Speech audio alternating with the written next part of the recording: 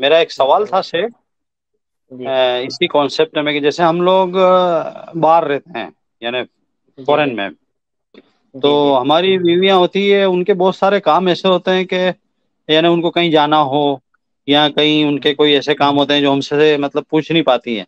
यानी उनको कितना फ्रीडम। देना चाहिए बीवियों को कि वो कोई भी काम बिना खामिन की इजाज़त के कर लें? मेरा ये सवाल था। फ्रीडम का ताल्लुक असल में यानी एक तो फ्रीडम वो है जो शरीयत ही नहीं, नहीं दी है। तो जहाँ शरीयत ने फ्रीडम नहीं दिया है वहाँ फ्रीडम दे ही नहीं सकते। मसलन कोई ऐसी मुसाफत है जिसको जो सफ़र के जिम्न में आती है तो अल्लाह के नबी अल्लाह के नबी ने मना फरमाया कि औरत जो है वो बगैर महरम के सफ़र नहीं कर सकती है। तो जहाँ शरीयत ने फ्रीडम नहीं दिया है वहाँ तो शोहर को इख्तियारी नहीं फ्रीडम देने का। ऐसे लोग हैं जिनसे वो बेगर पर्दे के नहीं मिल सकती है। जैसे कजिन्स होते हैं या देवर हैं जेठ हैं तो जहाँ शरीयत का फ्रीडम नहीं है, वहाँ आदमी को इख्तियार भी नहीं फ्रीडम देने का। जहाँ शरीयत का फ्रीडम है, वहाँ पर आदमी अंडरस्टैंडिंग के हिसाब से फ्रीडम देता है कि आपकी अंडरस्टैंडिंग आपकी बीवी के साथ कितनी है, आपके कितना पुरअमन है उसके मामले को लेकर के। तो हर किसी के हालात मुख्तलिफ़ होते हैं। ज़रूरत के एतबार से भी होता है कि औरत की ज़रूरत कैसी शदीद है कि उसको उतना इख्तियार नहीं मिलेगा तो वो बच्चों को नहीं संभाल पाएगी। पहली बात तो देखिए, अल्लाह रबुल आलमीन हम सब की हालत पर रहम फरमाए।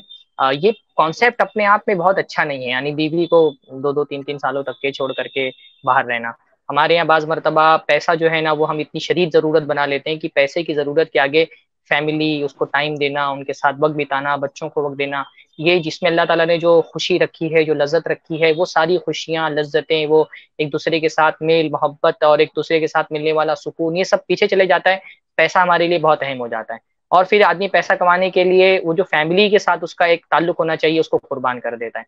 अगर अल्लाह रब्बुल आलमीन ने आसानियाँ रखी हैं और आदमी बेसिक ज़िंदगी की जो सहूलियात है वो अपने बच्चों के साथ रह करके खा, चटनी रोटी खा करके गुजर सकता है ना तो उसको ये लाइफ स्टाइल बहुत अच्छी नहीं है। कि बीवी भी नहीं है, पुरानी बाज मरतबा जो खलीज में काम करने वाले होते हैं, अगर उनकी ज़िंदगी को कैलकुलेट किया जाए तो पता चलता है कि चालीस साल में वो एक साल भी अपने बच्चों का पूरा मिला लिया तो एक साल भी अपनी बीवी बच्चों के साथ, पाँच साल, दो साल भी अपनी बीवी बच्चों के साथ नहीं रहे। तो बीवी बच्चों के साथ अल्लाह तला ने जो सुकून रखा है, जो आसानियाँ रखी हैं, जो लज्जत रखी है, क्योंकि ये सरमायादाराना दुनिया है तो इसमें बाज मरतबा, हमारी ज़रूरतें बहुत छोटी होती हैं, पर हमारे ऊपर ये माशरा ख्वाहिशात का एक बोझ लाद देता है, हमारे लिए एक मैार तय कर देता है। हम बाहर अपनी बीवी बच्चों को छोड़ करके इसलिए नहीं जा रहे होते कि हमारी ज़रूरत पूरी नहीं हो रही हो, बल्कि हमारा मसला ये होता है कि समाज ने एक मैार कायम कर दिया है, हमको उस मैार पे जाना है। यानी समाज ने बना, बता दिया कि घर इतना बड़ा होगा तभी तुम समाज तुमको एक्सेप्ट करेगा।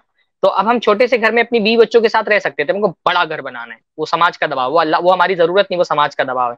उसके लिए हम क्या करते हैं, अपनी, हमारे बच्चे यतीमों की तरह पल रहे हैं, हमारी बीवा, बीवी जो है वो बेवा की तरह ज़िंदगी गुजार रही है, ये सब कुछ किस लिए? पैसा कमाने के लिए।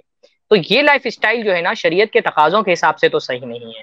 लेकिन अगर कोई मजबूरी है, ठीक है, आदमी नहीं जा सकता, उसके यहाँ मकामी हालात ठीक नहीं है, बेसिक जरूरतें भी वो पूरी नहीं कर सकता है।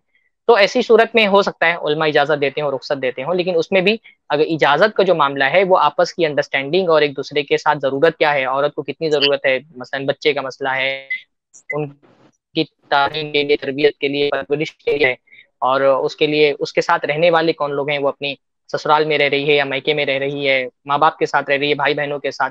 तो ये जो सरकम होते हैं और जो सिचुएशंस होती हैं और आपस में एक दूसरे की जो अंडरस्टैंडिंग होती है, उस पर डिपेंड करता है कि आपको समझ में आ जाए कि आपकी बीवी का मिजाज कैसा है, उसकी ज़रूरत कैसी है, उसके हालात कैसे हैं, उसके हिसाब से आप फ्रीडम दें। उसमें कोई एक लाइन नहीं तकी जा सकती कि इतना फ्रीडम दे, इतना ना दें। बेसिक जो लाइन है वो तो हलाल और हराम की है। जहाँ हलाल में फ्रीडम अल्लाह ताला ने जहाँ हराम में फ्रीडम रखा ही नहीं है तो वहाँ भी फ्रीडम नहीं दे सकते।